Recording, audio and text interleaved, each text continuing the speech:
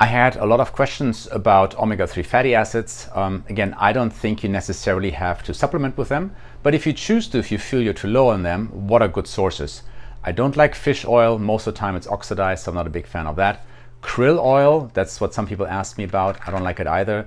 A lot of heavy metals in there, and also it might be oxidized as well. So anything that sits in a bottle for a while is not a great idea.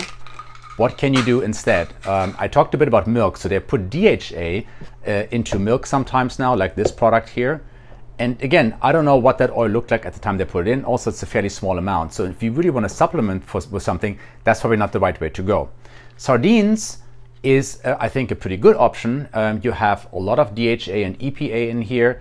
Uh, it's a small fish, so it has a short lifespan. That means it doesn't accumulate a lot of heavy metals, so that's an option. But keep in mind, it's in a can. The can's lined with plastic, which I'm not so uh, crazy about. Also, you know, this one has extra virgin olive oil in it, and if it's pure, that's